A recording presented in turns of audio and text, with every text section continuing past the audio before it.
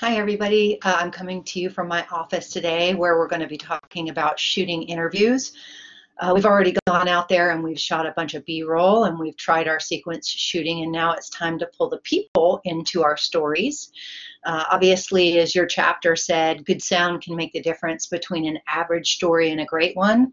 That includes natural sound and it also includes interviews that you're going to do with your primary players because news is all about people. It's about issues that affect people. It's about issues, uh, ways in which their stories come to life within your storytelling. And so it's really important that you figure out how to shoot them well and uh, integrate them into your stories. So today we're actually going to be talking about the framing and the lighting and the various um, features of of capturing that interview. Uh, later this semester, we're going to be talking about the content in those interviews. So right now, we're just talking about the technical side about how you gather that material. And so I'm trying to do this through Blackboard Collaborate for the first time as a direct record in here. So bear with me if I have a couple of moments uh, trying to pull up some supporting documentation. Um, one thing that I would say is one of the most important things when it comes to shooting an interview is make sure that we don't don't do anything in our framing, our lighting, the capturing of our sound that interferes with the audience's ability to actually hear what that person is saying. Because if they're distracted by the background, if they're distracted by the fact that you have too much headroom, you're seeing something like this, they're distracted by looking room being in the wrong direction, um, they're going to be paying attention to those things and they're not going to be listening to the things that your uh, subject is saying. So we want to kind of practice with that a little bit. So uh, you're going to go out in the field this time. You're going to shoot shooting assignment number three, uh, which is strictly a head and shoulders interview.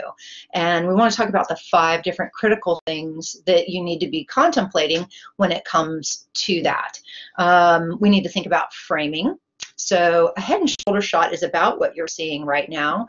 Maybe if I push this back just a little bit, that might be a little bit closer. Thinking about it in terms of one finger, a little bit of headroom, one finger above the head, and down to about this part, you know, the breast line of the person that you're interviewing. So that's important. Uh, we want to think about looking room. So if you're working as a team, especially for the shooting assignment, you might have a reporter over here, and uh, or you might be working with your phone, and you'll be over here uh, while your phone is on a tripod. So we want to have the rule of thirds, uh, where two thirds of the frame is taken up by the person you're talking to, and about a third of the frame is taken up by the background. So if I turned a little bit like this, as if I'm looking to the person that I'm doing an interview with, I would want to make sure that I had the extra space in the direction that I'm looking at towards the reporter. So this would be a mistake. This would be correct. Uh, we don't want to have too much on uh, of looking room. We don't want to have a half and half frame. So make sure that we're making sure to capture both shoulders. We make sure that we can see both eyes. Those are really important. Uh, think about the background. We never want to put somebody in front of a window or a white wall. And in fact, if there's any wall involved, you want to make sure that it has things on it that aren't a terrible distraction or that um, you're shooting outside if possible. Uh, there are many different ways that you can do that to avoid um, having a big white wall behind somebody because that's really, really boring. What we really want is we want to have what we call depth of field, where the person is in the front, in the foreground, and you're going to focus on this part of their eyes and they have at least six to 10 feet behind them so that we can separate that person a little bit from the background. Um, that's that's an ideal situation. So uh, when you go outside, you have that nice sort of blurred ground, and then you have that sharp foreground because you focused here. Um, that's really good. Uh, you do also want to be careful about horizontal and vertical lines that might be coming up behind that person um, because that could also be a distraction. If there's a tree growing out of their head, for example, if I was framed like this, that might be a little bit of a confusion to somebody. I also want to think about how that person is situated with multiple backgrounds. If you could kind of limit the amount of background that you have with that person so that people aren't too distracted by what they're seeing behind them, um, that would be really good. we always want to make sure that the camera lens is at eye level. So for example, I have my um, computer at this moment on top of about seven books so that I could get the computer up to eye level. That's true whether you're using your computer to do a Zoom interview or whether you're using our equipment and the JVC tripods. You want to make sure that you get that always up to eye level for, especially for this assignment. And once you prove that you understand uh, what the head and shoulders interview is like, you can move on uh, to some more creative things. But right now, I just want to see the meat and potatoes lighting. Uh, we want to make sure that the dominant light in the room is falling onto the face of the person that you're interviewing.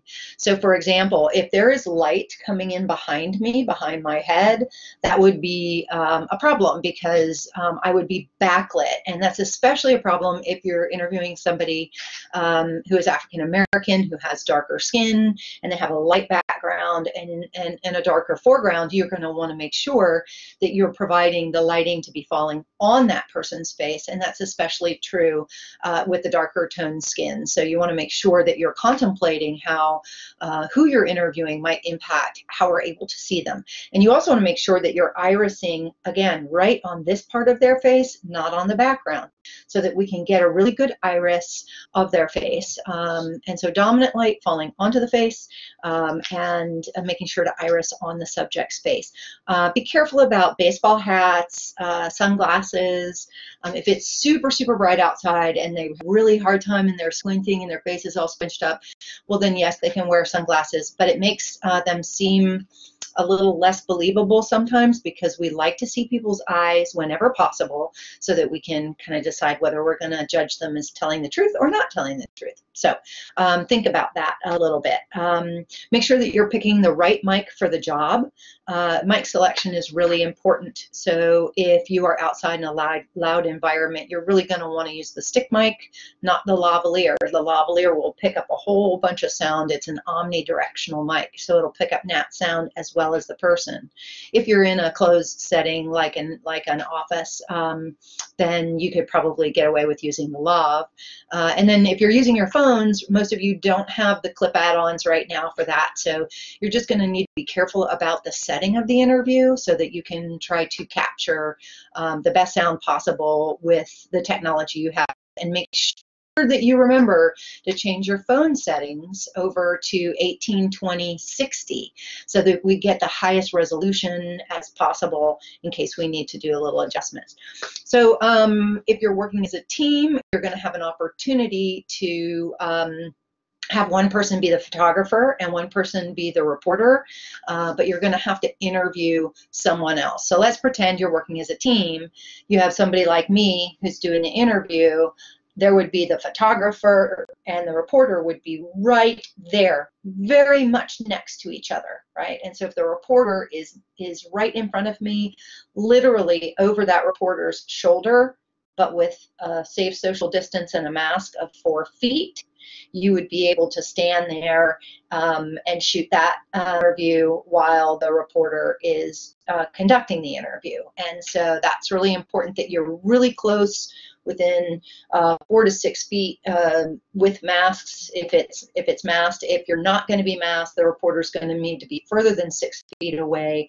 I would prefer um, masks certainly of all of our students while conducting these interviews. Um, but if you're far away from the subject and you're at least six feet away, then you could get away with um, uh, being uh, having the subject be maskless. So you want to be really careful. So I know I've been talking about this a bit. I want to show some examples of what a good piece of video looks like. And so when it comes to interviews, so I'm going to share my screen and uh, show you examples of what I think are good looking videos and uh, some that are less good.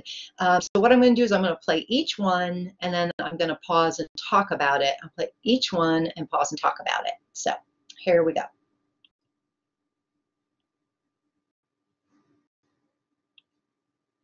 So as you can see here, we're talking about framing, lighting, location, and mic placement. These are all the things that I just I tell the people I'm at capacity, and they'll look in, it's like holes, and it's like the bar isn't full, the bar's packed, but still, you know, there's 85 people in here. There's 85 people in here. So I love this interview. Um, we have a good head and shoulder shot. We have um, the proper looking room. He's looking towards the reporter. We have taken advantage of the lighting in the background. Um, he is well lit on his face. They did need to add light in order to pull that off. Our cameras are very good with um, uh, this kind of lighting, um, just without uh, adding a light, but in this case, it's helpful to hold a light down into the right to bounce that light up towards his face instead of putting it on top of your camera and having it be a spotlight in his face. So that is something to contemplate. Anybody's going out. You know, if it feels overcrowded, if it looks overcrowded, and you don't know the exit, where the exits are located, then know, it's probably not a good idea to be. Okay, so let's talk about this interview.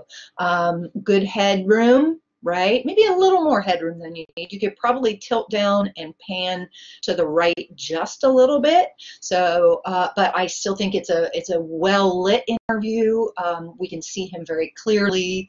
Um, he has uh, the background in context with the interview, which is in his office, and so I like that interview quite a bit. Be in that place. This is the generation of the phone and it, it, we can make this as easy as possible to, to get food and order food, that's the route that, that they're going to go. Okay, let me back it up just a smidge on that one.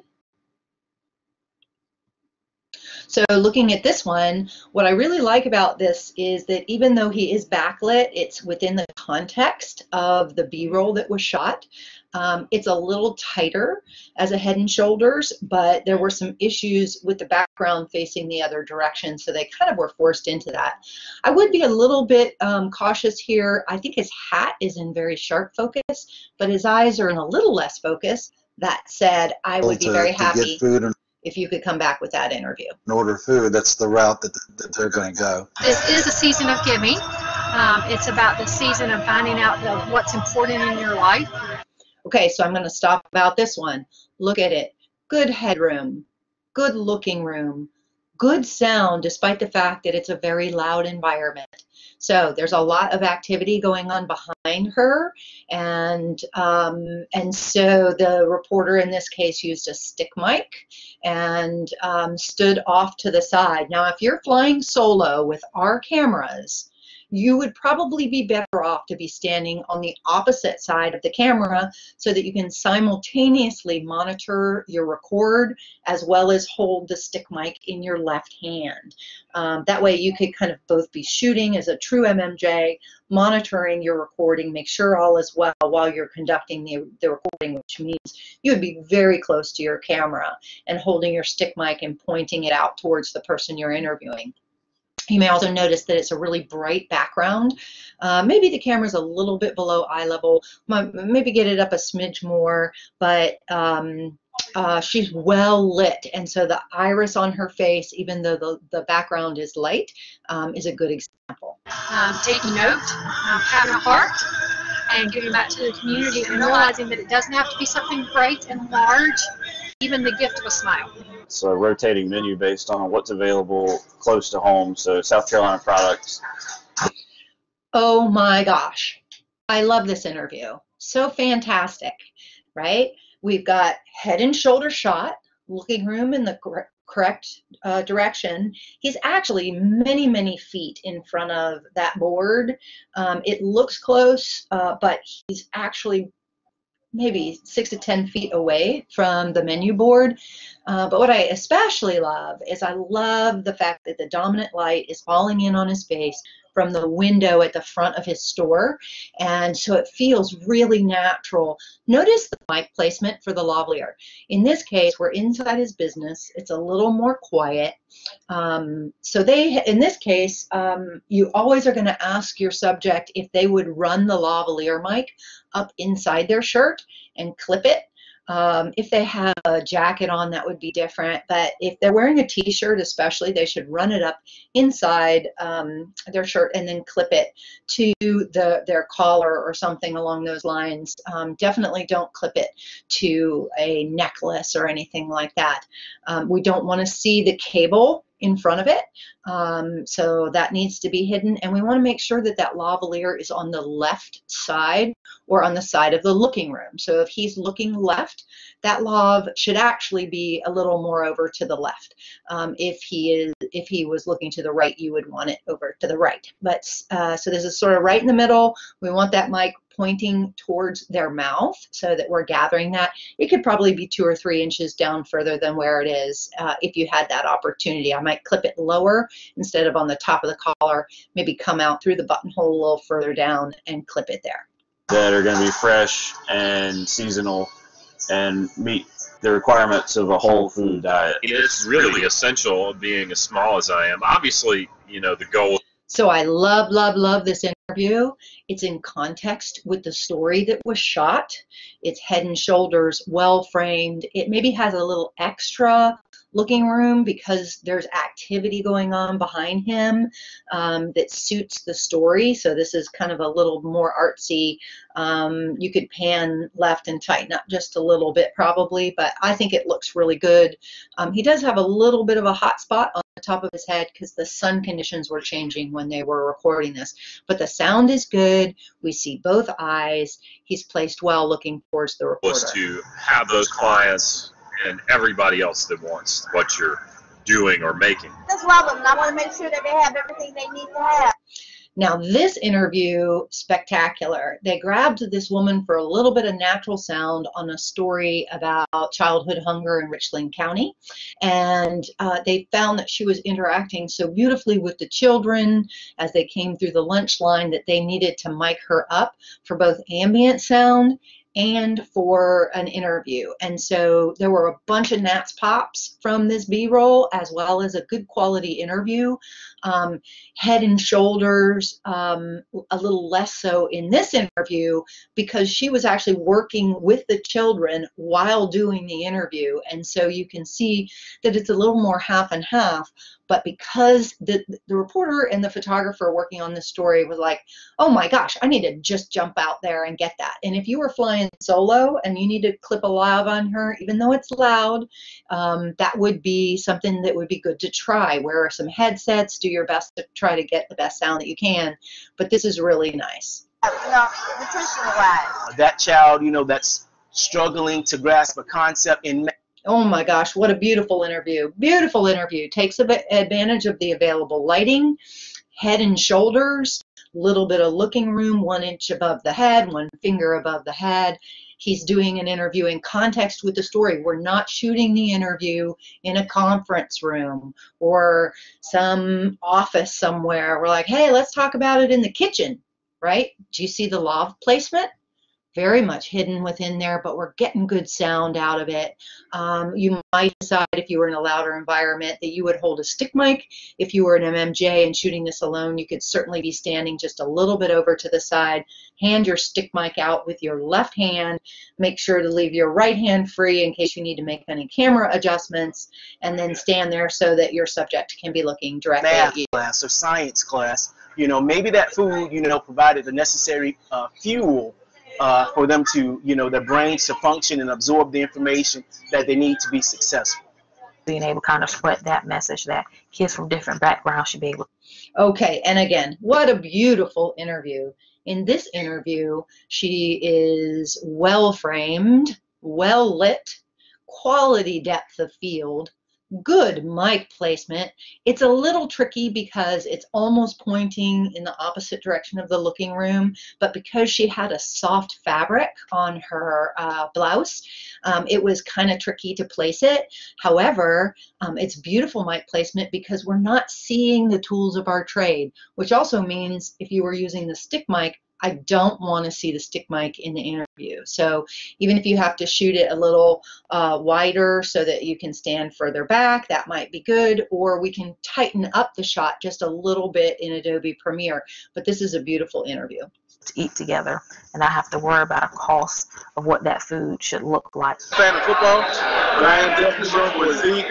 Uh, Okay, so this interview a little bit different. Got head and shoulders. It's a little more center because he's both talking to the reporter who's over to the right side of the camera here, and he's watching um, a football game on TV at a bar. And so um, it was a quick pickup interview. I think it's really great in the context of the story because we weren't going to ask him to get up and move while he's watching the game. So the reporter just sat right down with him and grabbed this interview real quick. I think it was a really nice looking interview. Um, it is up against a wall, but in this case, we didn't want to move him. Drew Brees and Amari Cooper. You know, they get a chance to FaceTime with their family members and get a chance to catch up, but when it comes down to connecting with their pets, they don't really have that same opportunity. Everything that this building is made of, we make right here. Okay, so I want to come back to this interview, right? Doing an interview with the dog in the interview. If it seems appropriate to do that, by all means, come out wider, grab something creative later in the semester. For this one, head and shoulders, keep it simple, right? The next interview. Down to connecting with their pets, they don't really have that same opportunity. Everything that this building. Okay, so love this interview. She's a hand talker just like me. And they did the interview on the production line. And look at the mic placement. The mic placement is on the left side of her blouse so that as she gestures behind her, you can keep that sound coming. So when her mouth turns to the left, the mic is going to follow along with her instead of her talking away from the mic. Very important when it comes to lav placement. Um, also, just, I mean, this interview pops off the screen. It's really good. building is made of, we make right here. They have wonderful people. Everybody. Technically, this looking room is correct, but look how different it is to have this interview here versus the preceding interview. So those are things that we want to be contemplating. Um, I'm going to also now, let me stop sharing that real quick. And then I'm going to jump on over to some things that we would want to do where a couple of examples, maybe just a few examples of SOTs that demonstrate how we need to work on these. And I'm not going to talk, I'm not going to share the audio on this one this time. We're going to talk about some of the things that can go wrong with an interview. Two Orton All right. Gillingham trained staff members So, who can help um, parents and caregivers who are This is a case where the photographer was thinking more about the background than the foreground and thought, oh my gosh, this would be great. There's this great giant animal from where the wild things are, and she's a librarian and she's talking about where the wild things and reading for children. But the problem is, it's so distracting to us that we're really not focusing on her. It's also half and half. I'd much rather place that interview where there's a row of books back behind her, or she's, you know, um, in a place where the books are in the in the background. working with children who aren't reading on grade level. if we can get people to understand that All right. Oh my gosh, we put this guy right up against a fence, literally. Yeah? Pull him 20 feet away from that fence. Pull out a little bit. Uh, give us a little bit more space. Tilt down, pan left, pull him away from the background. they're diligent as far as keeping their property maintained, eliminating any kind of extra sources of breeding sites, and the mosquito population will take care of itself. What allows them to have a voice is their All right, vision so and their their ideas all, and this one is their moving um, commitment to Oh my gosh, it's a dark background, really kind of boring background. So we want to be able to hear her. We've got a ton of looking room. We've got way too much room around her. Maybe if you tightened up a little bit, it would be okay. But also the dominant light is falling on her face in a kind of weird way. Uh, take her outside, get her somewhere else where you have a, a richer background, or at the very least, tilt down, pan right, zoom in just a little bit so that we can get rid of all of that wasted space all around her. You don't want to do that in the edit. You want to shoot as clean as possible the first time around if you can. do um, the the work that is ahead. means that's great because Again, look at that background, right? Very exciting. so get her somewhere else. Uh, put her out in the middle of the entryway of the building. Um, take her outside. Do something uh, that might, even in the hall with a with a hall running down behind her in her office space, somewhere where we can focus a little more on her. I'd also say that the camera's a little bit too high here. I'd get it down. Tighten up. At the very least, you're going to tighten this up, uh, eliminate some of the headroom, eliminate some of the looking room, get it down closer to eye level, but uh, better yet, move it somewhere else.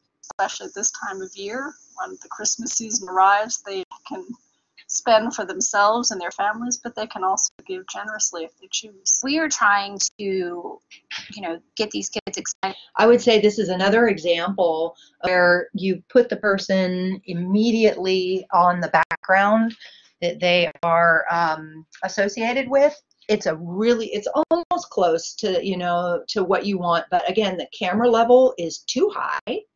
So we need to get the camera lens down to eye level and we need to take her 10 to 15 feet away from the background or find a different way uh, to shoot that because um, uh, in this case, um, it's just a distraction. We, we feel right on top of her and we're looking down on her, which is uh, making the audience feel uncomfortable. It's like a power move.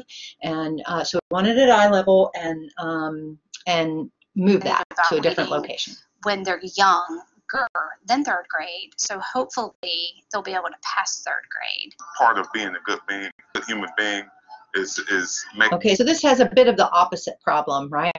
Uh, we were interviewing Mr. Lattimore, and he, um, we're shooting up at him, right? I know he's tall, but we can pull those tripod legs, extend them all the way, and then pull them in some so that the tripod um, lifts up a little bit taller to get to eye level. And even if you're short, even if you're five foot, then you can still use the LCD screen to tilt down to you he'll look down at you a little bit, but we don't want to be looking up at him if we can help it. Um, also, he seems a little soft, and oh my gosh, you know, we're shooting right up into the sky behind him. We're able to see him, we're able to hear him, but it's not an ideal interview. making sure when you have the opportunity, which you do every single day, give back and, and, and be kind to somebody else. Okay, and then uh, real quick, we're going to talk about location. Mobility assessment at each building. Again, don't interview this person right up against a background, against a wall, against a window. Um, it ranges, there's five different categories, um, depending on people, um, the size, the population of the building, how big the building is. Also, there's too much looking room, so pan left, tighten up, tilt up just a little bit. Headroom looks good here, but once you lose some of that looking room, you'll have to readjust. Um, past incident, historical wise. I remember like waking up in the hospital. I understand this gentleman has a couch in his room. Fine. But there's no reason he needs to be sitting on that couch. You notice all of the dominant light is coming in from the left of the screen and then it's about a half and half shot. Um, I would I would much rather you find a kitchen chair, find a chair, put it in front of uh, with the with the light coming in from the sliding glass doors or the patio or wherever that's coming in from. Um, turn entirely his whole body, sit him on a chair with that light falling on his face with the rest of the apartment in the background. Don't shoot him up against a wall or a window. Um, it just is a distraction. Um, good mic placement though.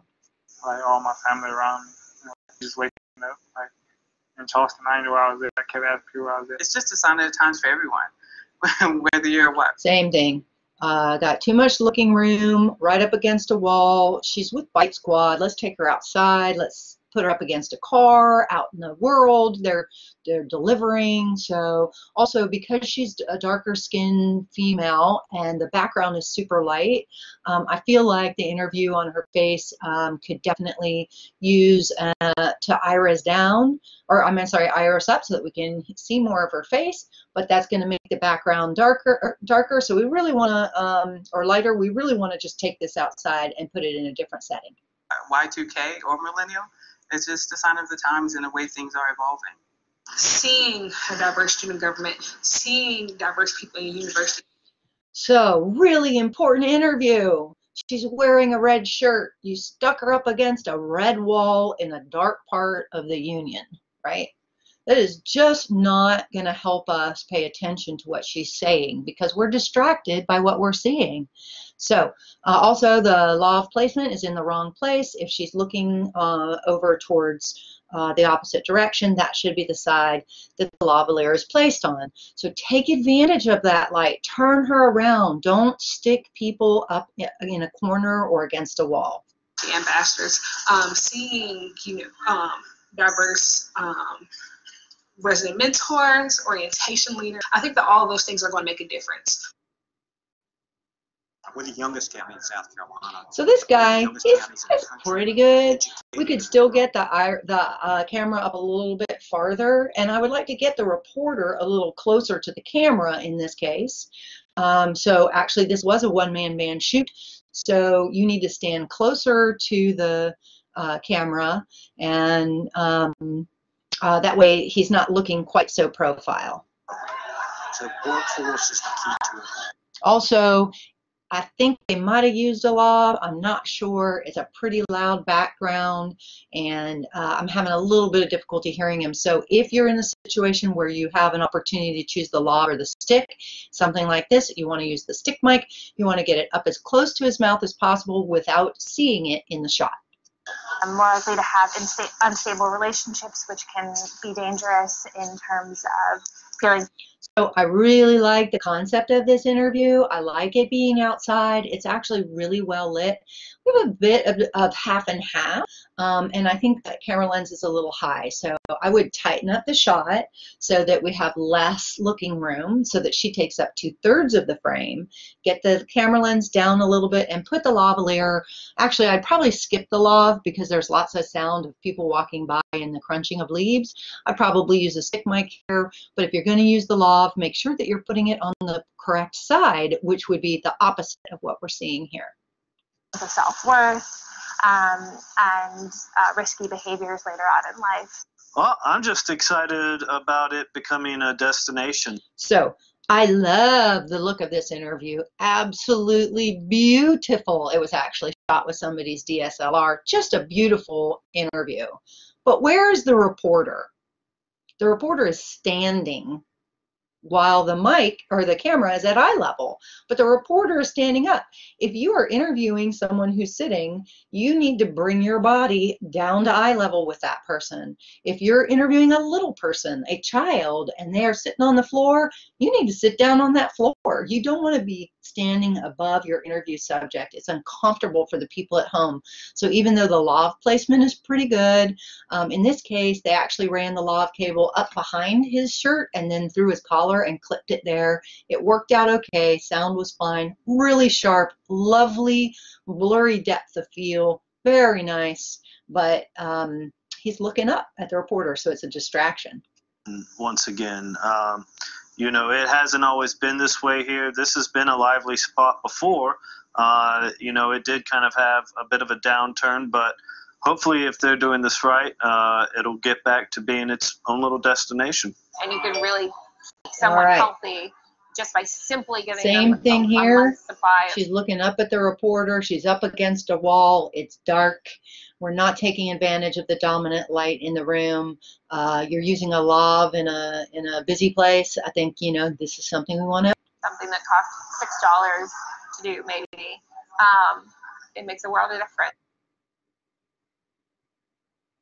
All right, I'm finally, hopeful that by introducing more positive lifestyle behaviors at Mrs. the college Pastides. age, that people will realize that, you know, the longer you lead a healthy lifestyle, the longer your life will be. You know, we've all been in that situation where it's just happened. You go again, dominant light falling in a weird place behind her. Uh, you can see the shadow of her face in front of her on, so you can tell right away you're not taking advantage of that. So actually shoot her with the work that the women are doing behind her. Turn her around. Uh, this is a really interesting story about the homeless period project. Very interesting, but a bit of a distraction. Um, it looks like she's in gulag being uh, interviewed by um, someone who's holding her captive with a light in her face. So uh, let's let's avoid that. to the restroom and Mother Nurse was like, hey, girl. So I just think a, lot of it has to do with the embarrassment of it, and people just don't really think about homeless women not having products. The more that folks use Columbia, the more Again, you know, she's super sharp. That we get new air service. She's super sharp, but she's got shadows on her face, shadows on her neck. I'd skip that. This person is backlit and uh, this in blue. This person is backlit and it's half and half. This person, I can hardly see it all. Super blown out in the background. Reorganize that, relocate it. And then let's talk real quick about mic placement. Don't ever hand over the microphone to somebody. You need to stay in control of your microphone the entire time. Um, just hold it uh, out to that person and tell them you're going to hold on to your mic. That's especially true now when we don't want to be sharing our mic. Uh, we want to make sure to wipe it down. Um, I think that in this case, the mic was just really far away from her, plus she's dark and, uh, you know, this is just not a good interview. And let's talk about focus problems. This interview was focused on the Toys for Tots box, not on the person we're interviewing, so that's an issue. This person, in this case, this is a beautiful interview where they're interviewing the mom with the kid on her lap. Let me play it for just a second kind of menial, I'll you know do timeout or um, take something away.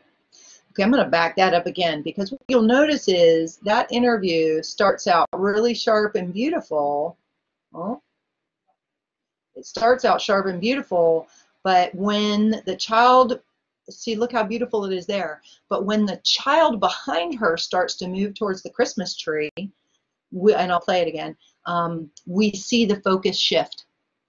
That is what's wrong with staying in autofocus. If you use manual focus on her face, even if that child is moving around in the background, this interview will stay in focus. And oh, isn't that so cute, that little baby looking up at her mom. We've hidden the lav mic. So much to like about this interview. It's real pretty. It's in context with the story. Um, we like it very much. But look what happens when the kid behind her starts to move because the photographer was in autofocus. Menial, I'll you know do timeout or um, yep. take something away. So that's a distraction. And here are a few other That's distractions. Do not. And you're saddled with a huge amount of debt that you're having to pay off because you What? Why do we need to see her jacket on a pile of things in the behind her? And then if you look to the left, I see the corner of her um, uh, computer in the screen. Those are distractions. Don't frame up the background. Frame up the person in the context of the background. You just paid to go to law school. So you know you're forking over a mortgage payment's worth of money a month. start um, pre-treating, as we call it, a few days before the uh, horizontal and vertical lines in the background, sunglasses, shadows on faces. These are the sorts of things that we're going to avoid. You know, get, So I'm just going to wrap up with you today to let you know these are sort of some of the things that you want to be thinking of when you're out shooting your next shooting assignment. Shooting assignment number three. It is up on Blackboard for you to take a look at, um, and the due dates are are going to be listed in the course schedule, so you'll be able to find that. Um, I might say if you are doing this uh, during the fall of 2020, we have a big election coming up. So um, when you read those assign- that assignment, and I say I really don't care what people say, if you want to practice your reporting skills, go out and get an interview with somebody and ask them what they want to hear the candidates talk about in this election. What are the issues that matter to them? What are the things that they would like to know more about? Uh, what are some of the things that they wish the media would cover? Um, uh, more in the mainstream press as opposed to what they're covering today, uh, what stories are being left out. That might be an opportunity to practice your reporting skills, even though right now what we're really focusing on are your shooting skills, and soon it'll be your editing skills. Uh, so I look forward to seeing you again soon. I hope you guys are doing well, and I will uh, look forward to seeing your next shooting assignment. All right, thanks so much.